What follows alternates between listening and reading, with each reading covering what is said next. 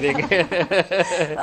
इन्होंने यही बातें कर करके ना पूरी कौम को तो इन्होंने यही बातें कर करके पूरी कौम को ना ट्रक की बत्ती के पीछे लगाया हुआ है और इनको जरा एहसास नहीं है कि अब एक हिजानी कैफियत से इस कौम को बाहर निकालना चाहिए बिल्कुल इस सूरत हाल से इनको फायदा नहीं पहुंचेगा किसी भी तरीके से हम्म। ये जो लंबी लंबी जबाने रखने वाले हुकूमती लोग थे ना हाँ। आप देखें सारे गायब है कोई भी इस वक्त सामने आके बात नहीं कर पा रहा इवन काबीना का इजलास हुआ हाँ। तो वो उसके बारे में तक आकर ये बताने को तैयार नहीं है तो अब इनको थोड़ा सा मैं सबके हम्म। हवाले से बात कर रही हूँ जो हुकूमत मोहब्बती लोग हैं कि थोड़ी सी एहतियात की ये ये इजलास गेट रेडी सर